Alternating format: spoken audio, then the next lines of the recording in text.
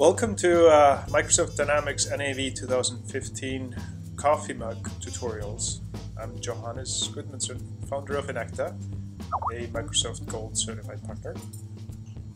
In this easy to follow instructional video series, I'll show you how to use Microsoft Dynamics NAV by using a one simple item as an example, in this case a coffee mug. I'll walk you through how to create items, purchase orders, sales orders, track and manipulate inventory, and much, much more. So go ahead and grab your own cup of joe and let's get started, shall we?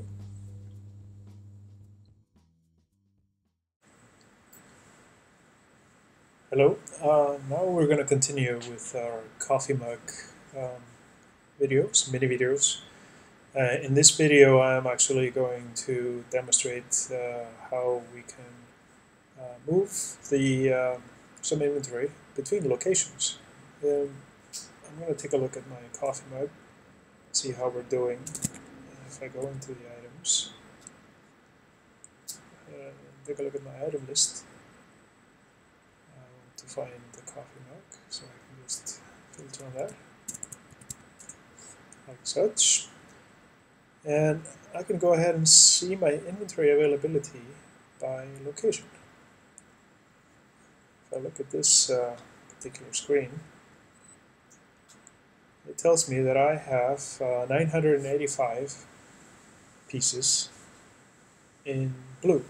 It says projected available balance because it actually is taking into account my inventory on hand, uh, purchase orders arriving in um, by the day, today, and sales orders going out. Um, now, however, I don't have any of those. I only have inventory on hand. And that's included in this number. So it's just going to show 985.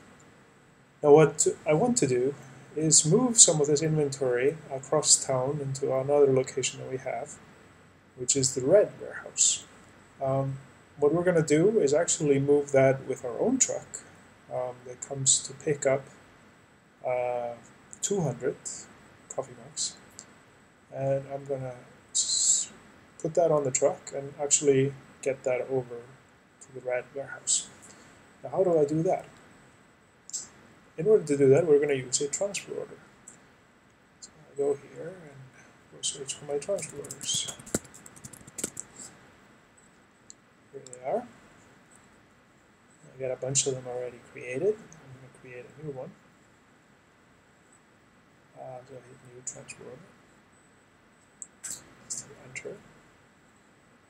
And it asks me, okay, from what location do you want to transfer from?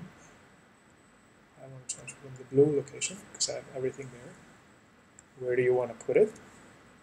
To the red location. And what is my in-transit location? It's either outsourced logistics or own logistics. I'm going to use own logistics because this is our own truck. I could have used outsourced logistics if we hired the truck to do this. I could have also created an in-transit location um, like uh, a boat or a rail or something like that um, to signify other means of tra transport. Uh, then I'm just going to go ahead and put the coffee mug on here.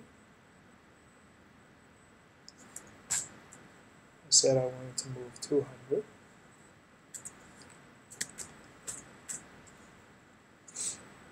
And then it tells me, okay, I have 200 to ship and I have nothing to receive. Uh, what this means is, uh, if I ship this, it will actually move from the blue location to own logistics onto the truck. So I'm going to go ahead and do that. Post. It asks me, do you want to ship or receive? I have nothing to receive since I haven't shipped anything into my truck. So I'll just ship. And then it goes ahead and posts. Now my inventory is no longer in the blue location. It's in the own logistics location. And it has moved from quantity to ship to quantity shipped. And now we have 200 to receive. Now let's go ahead and receive this. So I post again. And now it receives. The order is complete. And if I take a look at my inventory, back to the item.